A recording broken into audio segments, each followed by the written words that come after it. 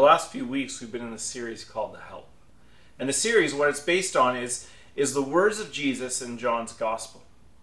When Jesus was with his followers, he told them that when he leaves, he would leave them a helper. He would leave them the Holy Spirit. And as we've explored over the last three weeks, we've explored who is this Holy Spirit. And we've seen that the Holy Spirit is not an impersonal force, but a personal God who is with us. That God we understand to be three persons in one essence, truly God. This idea of the Trinity is that the Father, the Son, and the Holy Spirit are all one God, one essence. And so when Jesus said he would leave them physically, he was actually not saying he would leave them completely. In fact, God is always with us as followers of Jesus in the person of the Holy Spirit. And as we've explored that, we've asked the question well, what is it that the Holy Spirit does? And we've seen that the Holy Spirit, part of its work in our life is to draw us to know Jesus. That the work of the Holy Spirit is to help us to understand the death and resurrection of Jesus and the significance it makes. And that in the midst of that, the Holy Spirit is gifting us for a purpose, the common good. The Holy Spirit is gifting us for other people. And that the Holy Spirit is guiding us to know that when we have these gifts, it is for the betterment of other people. And these gifts are in a variety of things, such as speaking gifts or teaching gifts, administrative gifts, hospitality gifts, there's all kinds of things that the Holy Spirit does in us that gifts us with for other people's benefit. And so while we sometimes think, well, I'm very gifted at something, it's not for our own gain, but actually for the work that God has in the world around us.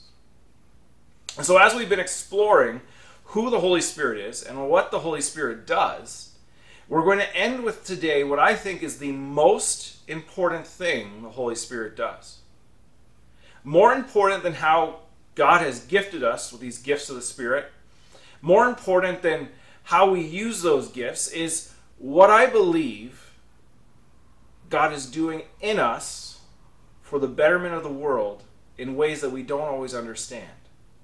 I believe this morning we're going to explore what I feel is more important than a lot of the things that we put priorities on. In fact, I believe that this is the sum of the work of the Holy Spirit in our lives. And this is something that the Apostle Paul church, teaches the church in Galatia. For those of you who are familiar with your New Testament, you know that Paul, as he was traveling in his missionary journeys, we read through Acts, he set up churches. And as he set up those churches, later on, he would write letters to them so that they would understand better what it means to be followers of Jesus. And this particular letter, this church in Galatia, He's writing them to understand that what they think is important really isn't important.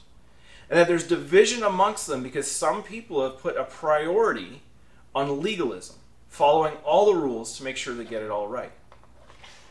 And Paul's point is that that's not the way of Jesus. Not that the rules are bad, not that the law, the Old Testament law, was a bad thing. There was a purpose for it. But the way they're going about it misses the point of what Jesus did for them and it's not in step with what the Holy Spirit is doing with them right now.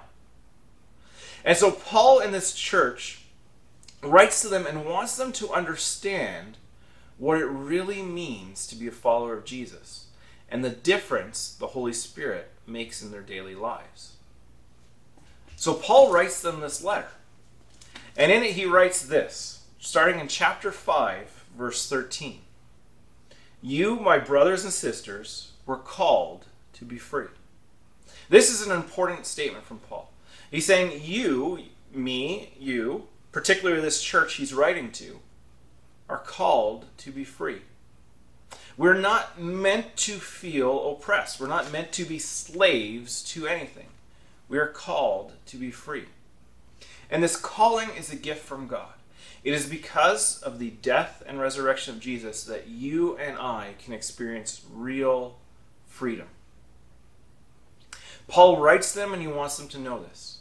You see, what was happening at the time is that there was this group of people who were so concerned about making sure they did everything right, crossing all the T's, dotting all the I's in the law, that they weren't actually being free. So they would do things like, you know, they wouldn't eat lobster, they wouldn't mix their clothing fabrics, you know, men wouldn't shave the sides of, of their beards. They would have all these rules. Women wouldn't have short hair. That they had to follow and think, well, this is what makes us right with God. And they were putting it on other people, and it was causing division amongst them. Because people were feeling oppressed by it. They were feeling like, how can I do all these things they're asking me to do? And Paul's going to explain here, and he's going to explain other places, well, that wasn't the purpose of the law. The purpose of the law was to make you realize that you could never do all you needed to do to be right with God. That only God can make you right with himself. And that is through the death and the resurrection of Jesus. And so he's writing to these people who are causing this friction, causing these factions, this division in this church, who are saying, you've got to follow all the rules. And he's saying, No, you're called to be free. You are meant to be free. And when you try and make it about following all the rules, doing all the right things, never doing wrong, in fact, you're f- embracing an oppression that it was never meant to be. And now, I'm not saying that the law or rules, that there is no right or wrong. That's not what I'm saying, and neither is that what Paul is saying. But what I am saying, and Paul is saying, is that we are meant to be free. And if all we concern ourselves with is doing all the right things, we will not be free. He's going to continue. You're called to be free, but do not use your freedom to indulge the flesh. This word flesh that Paul uses is a really important one. In Greek, it's sarx. And it means two, well, it means a few things, but two mostly understandable things. One is the, the literal flesh. It's your skin. It's it's your your muscle. It's what's on top of your bones. And so we use it in a term to, to be a very physical thing. But there's also a metaphorical understanding of flesh. It is an idea that when two become one flesh, in marriage, they are bonded and united. And so the same word that get used for physical flesh is the word that is a unison of people, a bonding of people. And there's another way that Paul looks at this word, and in particular, it means this here. But it also means those other things too, which is important to note. Is flesh is used to talk about our personal, non godly, sinful desires. When flesh gets used, sarx gets used, Paul is often talking about what we do that is contrary to God's design. This is something that we are bonded to. Same idea as that two become one flesh. And it's something that we are physically prone to because we are born into a reality that we don't naturally desire the way of God. We're born into sin. This is what's called the doctrine of original sin that some people talk about. That all of us in our natural state we'll do whatever we want to please ourselves. And that's not the way of God. And so Paul is writing to them. He's saying, You are, you are made to be free. You're called to it. And he says, But don't use that freedom to just do whatever you want so you satisfy those desires you have. You satisfy the flesh. He says, Rather, serve one another humbly in love. So it's not about doing what you want to get what you desire, but it's about serving other people. He says, You and I, all of us, this church in Galatia, are meant to be free. You're called to it. God has invited you into freedom. But don't use your freedom to do whatever you want, to get whatever you want. Instead, see your freedom as an opportunity to love other people. He says, For the entire law is fulfilled in keeping this one command love your neighbor as yourself. Those of you who are familiar with Scripture, you know that this is something that Jesus taught. He actually said there are two laws, two instructions in Scripture that sum up everything to love God with all of your being and to love your neighbor as yourself. Paul is writing to people who already have that love God. In fact, they love God so much they want to do everything right. And in so doing everything right, they are forgetting to love their neighbor. They're making it about themselves. And Paul says, No, you were called to be free. Don't use your freedom for your own selfish gain, but use it to love each other. Because that's what the law is actually all about loving other people, making other people a priority instead of your own desires all the time. He says, If you bite and devour each other, watch out, or you will be destroyed by each other. He's dealing with a conflict in their church at this time where people are fighting over, well, you know, how do we demonstrate our love for God? Well, you got to follow all the rules. You got to not eat lobster. You got to not eat bacon. You got to not shave the sides of your beard. You got to not have short hair if you're a woman. You know, not have long hair if you're a man. You know, you got to wear these clothes or that. You've got to do all these things. You've got to be circumcised, which was a, a big challenge for a lot of people at that time. You got to do all these things. And Paul says that's not the way of freedom. The law was never meant to make you right with God. It was meant to show you you'll never be right with God unless you recognize who God is and embrace the sacrifice of Jesus. That is what the law does. It shows you you can never be good enough. And that's not what God desires. God loves you. He loves you so much that He made a way for you to be right with Him through the death and resurrection of Jesus. And it's not something you can do on your own. So, as Paul is writing to them, he wants them to embrace this. He wants them to understand. He says, you, You're missing the most important things. It's to love other people. It's not to do all the right things, but it is to love other people. He says, Don't use your freedom just to do what you want for yourself. It's not about your flesh not about your personal desires and selfishness. It's about loving other people.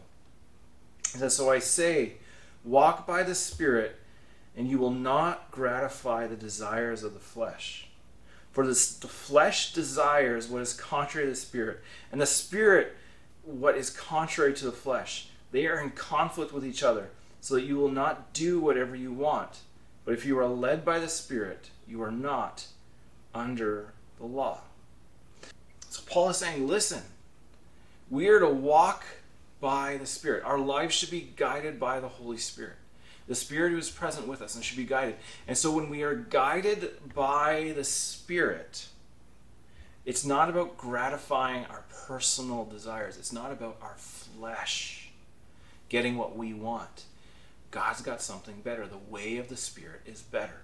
It's not about getting what you want. It's not about your personal desires. That is contrary to the way of God. The way of the flesh is contrary to the way of God. Now, some of us, we, we wrestle with this, right? Because we want to experience good things. We want to uh, have happiness in our lives. And so we try to chase things that will give us that gratification, that feeling of good in us. We're trying to maybe drown out some of the sorrow we experience or some of the frustrations we have. So we are trying the best we can. So we try to do things to get what we want. But Paul is saying that is the flesh. That's not the way of the Spirit. To try and do things to gratify yourself. This is where we struggle with addiction. Those of you who, who maybe struggle with addiction in different ways, some of you might be substances like drugs or alcohol. For some of us, it might be unhealthy relationships or pornography. For some of us, it might even be social media likes, TikTok views, things that boost our endorphins and we feel good about ourselves in a moment. So we do things to chase that feeling. And if you've ever been addicted to something, you know that what you were addicted to to start with, to give you that feeling, does not last. So you go and try to do more and more and more to get that gratification, to boost those endorphins, to feel what you want to feel. And Paul is saying this is not the way of the Spirit. Pornography will give you a, a, a, quick jolt of whatever you need for a moment, but you're going to keep going further down that road. And that's not the way of the Spirit. Substances that will give you that feeling of like, ah, I'm high, I'm good, will last for only so long. But you'll keep chasing it, and it's not the way of the Spirit. The social media likes will only last for so long, and you'll be an influencer for so long. And eventually you'll try and do more and more to get that and get it, and you'll be empty if you don't have it. And that's not the way of the Spirit. That's not the freedom, friends, that Jesus has given us. Our freedom is not meant to get what we want so that we can feel that endorphin rush, to get that high, to get that momentary happiness. That is not the freedom God has given us.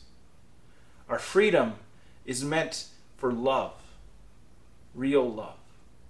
And when we choose to walk in a life that embraces the sarx, the flesh, that desire to get what I want right now, we're not embracing the love that God has for us and others. And in fact, those fleeting chasings that we have will not satisfy the longing of our heart. It is only when we walk in step with the Spirit that we can see the goodness of God around us and experience it through our love of others that we will find that satisfaction we chase. Those addictions we chase, whether substances, social media, relationships, sex of some kind, they're not going to satisfy in the end. They'll leave us hollow and empty. It is only when we stay in step with the Spirit and walk daily our lives with the Spirit that we can find that freedom that we are called to. It is only when we give up that fleshly desire, that sarx, that what do I want right now, that we can truly find the freedom we all hope for. Paul's going to continue. He's going to say the acts of the flesh are obvious. And as I'm going to go read through this, I'm going to say this it's not that obvious anymore. Maybe for his audience it was obvious. They knew, like, this is what, you know, the people of God did, this is what the people not of God did. But for us in our culture, it is so intermingled, we don't fully understand it. It is hard to sometimes know what the acts of the flesh are. As a society, we've gone in a direction, and some of it's good and some of it's not so good, where we've kind of decided, okay, well, this is, you know, the way of God, this is not the way of God. And as we've gone in these directions, we're sometimes missing out on what God really invites us to because sometimes as a culture, We've made it more about the flesh, the sarx, my personal desires in a moment, and not about the way of the Spirit, what's good for others. And so, as we try to understand what it means to stay in step with the Spirit, Paul gives them a list that to them was obvious, but to us, maybe not so much. Paul says the acts of the flesh are obvious sexual immorality, impurity and debauchery, idolatry and witchcraft. We look at that list and some of us will go, okay, witchcraft, yeah, totally. Sexual immorality, what do you mean by that? Culturally, as a society, we have made a progression where we've said that sexuality is a freedom. And so he said, well, you can do whatever you want. But Paul says actually, sometimes when we embrace that freedom, it's actually not the way of real freedom. And so we need to reflect by the work of the Spirit in our lives. The Spirit who inspired Paul to write these words. Well, what does this mean for us now? And some of the things that we think are freedoms for us are actually oppressions, slavery we're putting on ourselves. Because the way of the Spirit isn't about doing whatever you want to satisfy the flesh, it's something better. And when, when all we do is, is consumed by how do we satisfy the flesh, we miss out on what God has for us the life in its fullness that Jesus promised. So he says, well, sexual immorality, impurity, and debauchery, idolatry, and witchcraft. So many of us are embracing idols. We do it in social media. We, we give the likes and we, we elevate celebrities. We do it all the time. But not just in those kind of forms. What we invest in can become an idol in our lives. Where we put our money is where we put our priority. And so for many of us, sometimes an idol becomes food where we're eating out all the time or we're, we're buying expensive things. Sometimes it becomes our family. Sometimes it becomes all kinds of things. That we say, well, this is the most important. And it's a place where God should be, but sometimes we put other things there. And then witchcraft, and for Paul, these things of sexual immorality, witchcraft, uh, idolatry, impurity, and debauchery, they're rooted in his understanding of the Old Testament law. And so the book of Leviticus gives a good understanding of all these things. And witchcraft is much more than, you know, those those people that go into, you know, a forest on Halloween and sacrifice a cat or something. It's even things like your horoscope.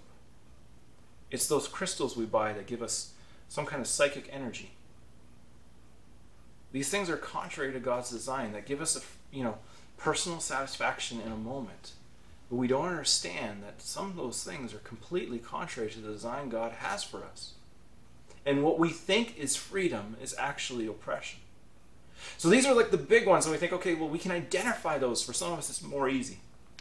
Some of it's a lot harder. Like I said, culture has shifted so much. We have to work on re understanding what God designed us for. But he's going to continue. He says, well, you know, so is hatred or discord or jealousy fits of rage, selfish ambition, dissensions, factions, and envy, drunkenness, orgies, and the like. When was the last time you were envious of somebody? Maybe it was your neighbor who had this amazing, perfectly manicured green lawn, and yours is kind of all raggedy looking and lots of brown patches like mine. Maybe it was you saw someone with a nicer car than yours, or someone who was thinner than you, or someone with more money. When was the last time you hated someone or something. Maybe it was even flippant. Maybe you said, Oh, I hate that person. When was the last time you got really angry for no reason? Remember that time you stubbed your toe? Or that time that guy cut you off in traffic? Or girl? Some of these things, selfish ambition, we do all the time, and we don't realize they are contrary to the way of the Spirit. It's about our self gratification. Sarx, the flesh. And Paul's saying this is an oppression. This isn't freedom. Don't, just because God has set you free through Jesus doesn't mean you should just embrace all these things. It's not real freedom. He says, And I warn you, as I did before, those who live like this will not inherit the kingdom of God. And you might be thinking, okay, well, what does he mean by that? Does it mean I'm not going to heaven? Guess what? Jesus died and rose again for you, for the forgiveness of your sins, for the freedom that you are offered, for the fullness of life He offers. This isn't about eternal security here. Jesus has done what He's done, and if you embrace Jesus as Lord, you confess your sins and you embrace Jesus, there is a forgiveness that you've received that no one can take away. By saying, you won't inherit the kingdom of God. We are given this inheritance of what it, the world could be like when God is king, of how much better it could be. When we choose to embrace the flesh and we choose to do things that satisfy me first of all, we are not going to see what God is doing. We're not going to get the reward that God really offers us. We're just going to get these temporary satisfactions that we're always going to be chasing the next high because it's really not that satisfying when we get down to it. We will not experience the fullness of the life that God offers us if we choose to just embrace the way of the flesh. There is a better way. And this is the most important thing that the way of the Spirit is so much better than the way of the flesh. Because the way of the Spirit isn't going to be about something you do, but something someone you become because the Spirit is doing something in you. It's not your doing to achieve it, not you trying to be more and more what you're supposed to be, or you get that satisfaction you want, the momentary satisfaction of the flesh. But the work of the Spirit is doing something so much better. He says, but the fruit of the Spirit that's that thing that's that's going to grow out of us because the Spirit is at work. Just like a tree cannot will itself to grow fruit, it just naturally happens when all of the right elements are there. When the right soil is there, when the sunlight is there, when you know the bees have pollinated the flowers, when the rain has fallen, a tree will bear its fruit. When all the right things come together, it's not something it wills on its own, it's not something it can do on its own. It is just what it is made for.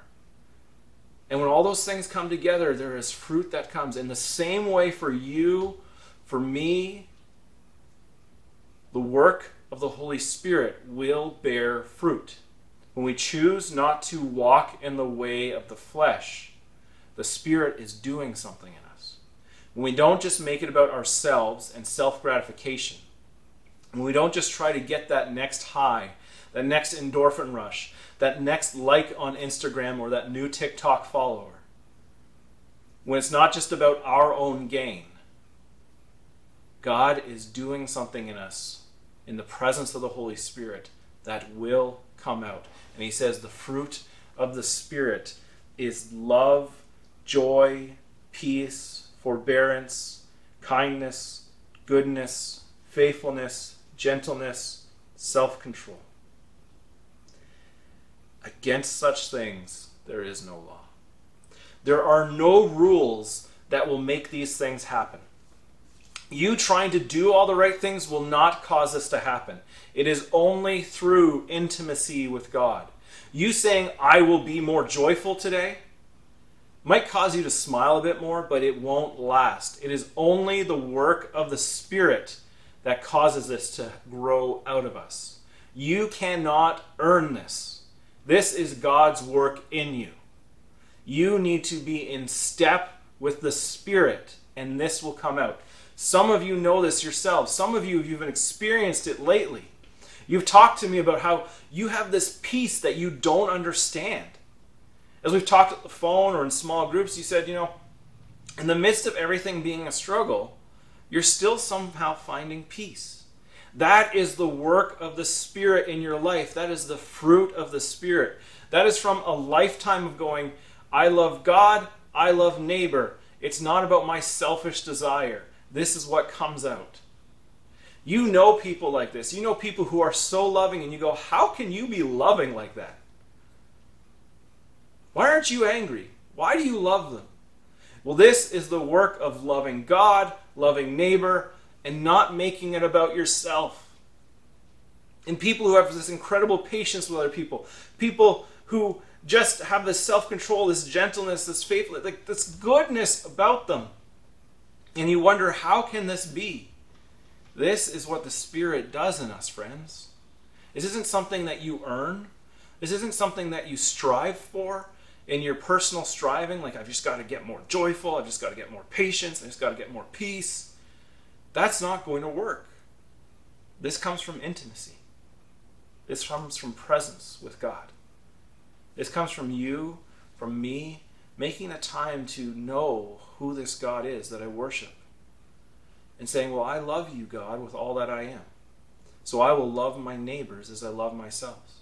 And I won't make it about my own desires of trying to get that good feeling, that rush I want. But I will be faithful to you. This is not easily achieved because so many of us want to quickly just jump into what makes me feel good right now.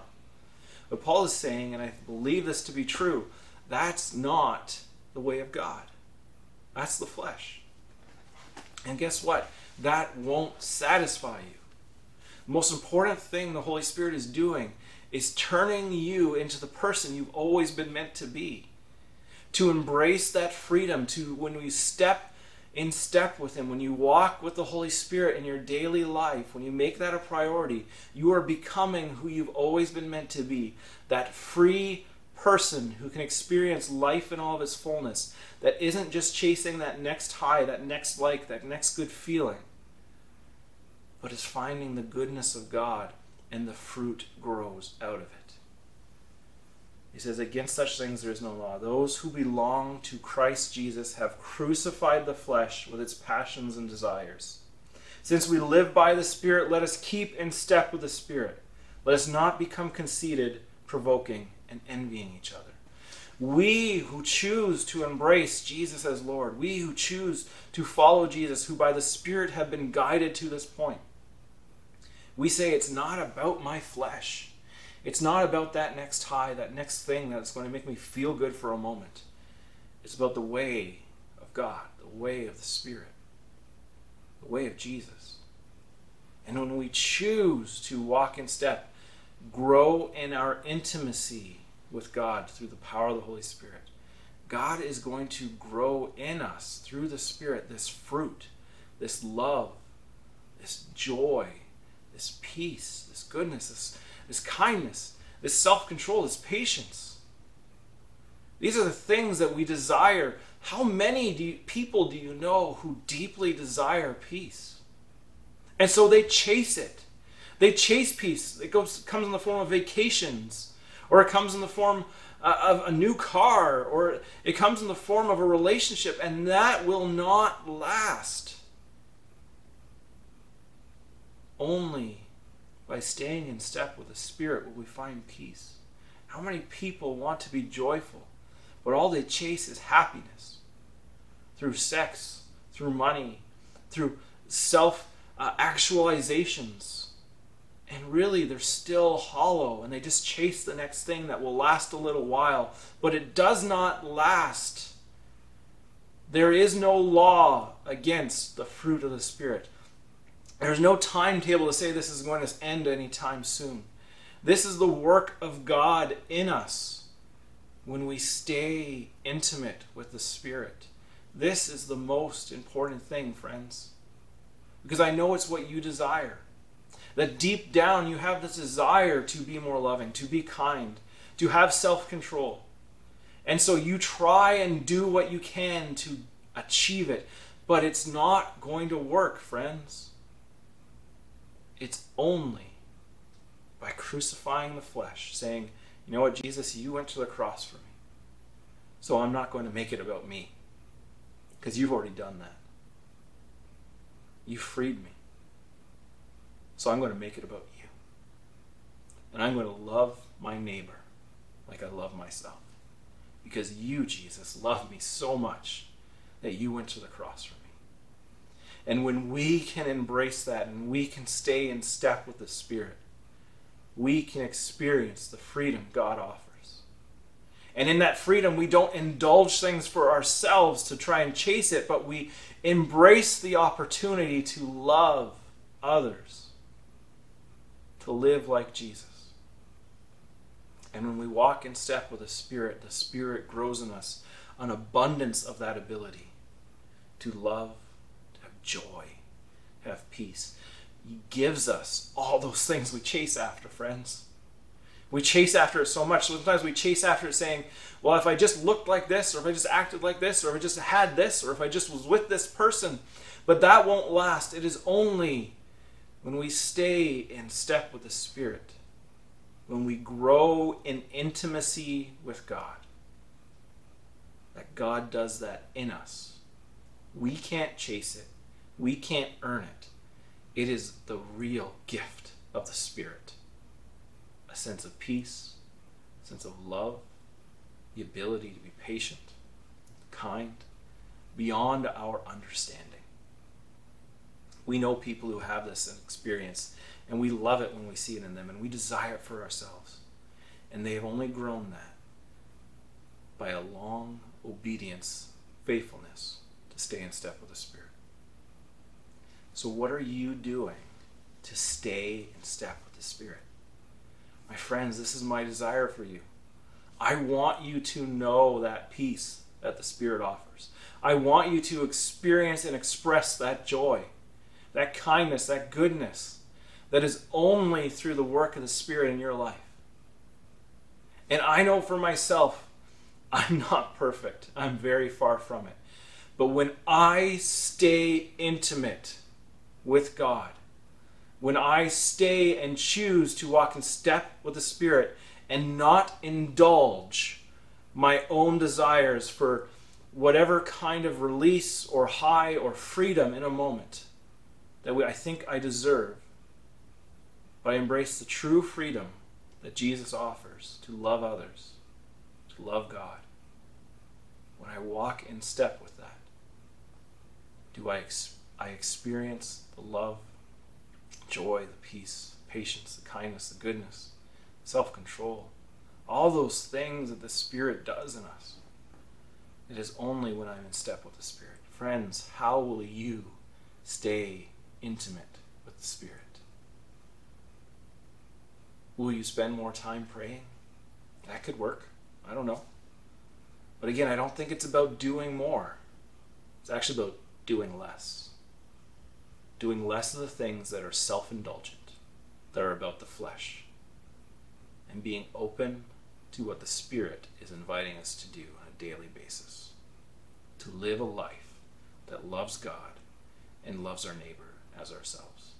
My friends, I desire this for you so much because I know the freedom I have found in that. And again, I'm not perfect. I've got so much growing to do. But that freedom that the Spirit offers is so worth it. And I pray you embrace it. I pray you embrace it today by choosing not to do the things that will just give you that temporary high, that feeling of happiness in a moment. But you embrace the Spirit who gives you a joy everlasting, a peace eternal, and a hope that will last you forever. Friends, I love you. And because I love you, I want you to know this. Jesus died and rose again for you. You may have heard it before. You may have embraced it. He died for your forgiveness of sins, for the freedom of life he invites us into, the life in all of its fullness. But it is up to us to embrace that, to accept that, and to walk daily in step with the Spirit and embrace what he offers us. To choose to love God, to love our neighbors ourselves. And only then will we see the fruit of that freedom he offers us. I pray you see that fruit. I pray you stop chasing those things that offer you temporary happiness or relief or momentary fixes. And you chase that spirit and walk in step with him because he is waiting for you to do just that.